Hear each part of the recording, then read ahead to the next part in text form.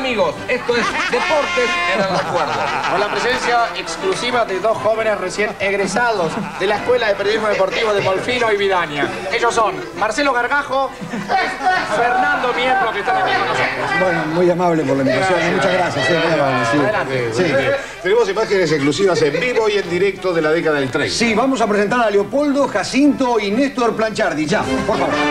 Corría el año 1938. Recién contratados por el Club Atlético Ferrocarril Oeste, llegan a Buenos Aires tres hermanos que marcaron huella en la historia del fútbol argentino. Leopoldo, Jacinto y Néstor Planchardi. Los tres habilidosos defensores fueron recibidos con algarabía por los simpatizantes de la entidad.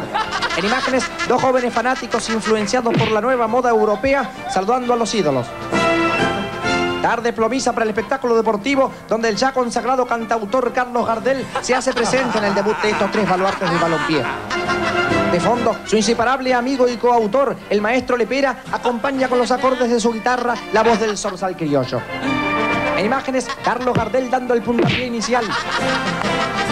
La cabaretera, creación de Néstor Planchardi y ese brillante movimiento de cintura que lo diferenciaba de sus dos hermanos. La huevera, jugada de Leopoldo, hacía delirar a la platea femenina. La Pepsi Cola.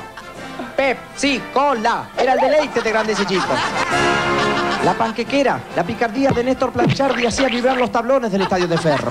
La Village People, jugada del menor de los hermanos, dejaba entrever su dudosa inclinación.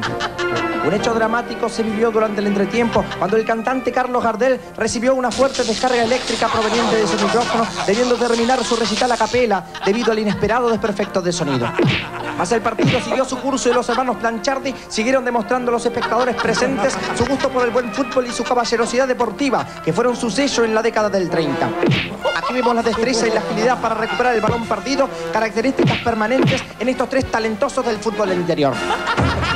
Es menester recordar que Néstor, el más nacón de ellos, fue convocado para integrar las filas del seleccionado nacional de fútbol debido a su aguerrida y respetuosa forma de jugar. Aunque con la contratación de estos tres habilidosos deportistas, el club perdió toda chance en la puja por el campeonato, nuevos simpatizantes se asociaron a la entidad, la mayoría de ellos admiradores del boxeo y la lucha grecorromana.